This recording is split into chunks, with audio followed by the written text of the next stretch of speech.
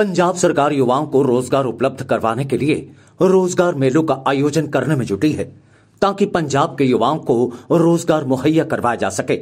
सरकार ने अपने इसी अभियान के तहत संगरूर ज़िले के गाँव बेनड़ा स्थित यूनिवर्सिटी कैंपस में रोज़गार मेले का आयोजन किया, जिसमें उस समय अफरा तफरी का आलम हो गया, जब यहाँ पहुँचे बेरोजगार बीएड टीईटी पास अध्यापकों ने सरकार के खिलाफ रोष प्रदर्शन करते हुए यहाँ पर नारेबाजी शुरू कर दी।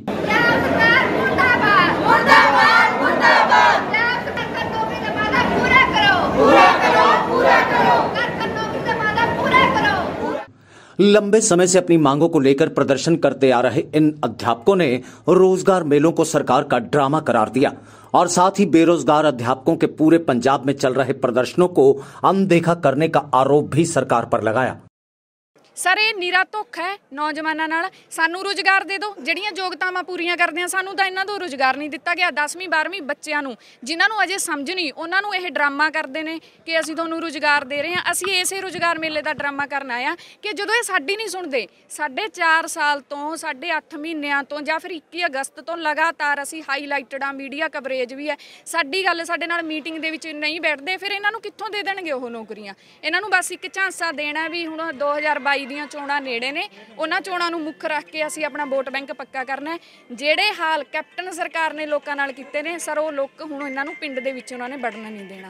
ਇਹ ਰੁਜ਼ਗਾਰ ਦੇ ਨਾਂ ਤੇ ਸਿਰਫ ਡਰਾਮਾ ਹੈ। ਜੇਕਰ ਇਹਨਾਂ ਸੱਚਮੁੱਚ ਹੀ ਸਰਕਾਰ ਰੁਜ਼ਗਾਰ ਦੇ ਪ੍ਰਤੀ ਇੰਨਾ ਧਿਆਨ ਰੱਖਦੀ ਹੈ, ਤਾਂ ਉਹਦੇ ਲਈ ਜ਼ਰੂਰੀ ਹੈ ਕਿ ਰੁਜ਼ਗਾਰ ਪ੍ਰਾਪਤੀ ਲਈ ਲੋਕਾਂ ਨੂੰ ਪੜ੍ਹੇ ਲਿਖੇ ਵਰਗ ਨੂੰ ਡੀ ਵਰਗ ਹੋਲਡਰ ਸਟੂਡੈਂਟ ਨੇ ਜਿਹੜੇ ਸਾਡੇ ਅੱਜ ਸੰਗਰੂਰ ਹਸਪਤਾਲ ਦੀ ਟੈਂਕੀ ਦੇ ਉੱਤੇ ਬੈਠੇ 27 ਦਿਨਾਂ ਤੋਂ।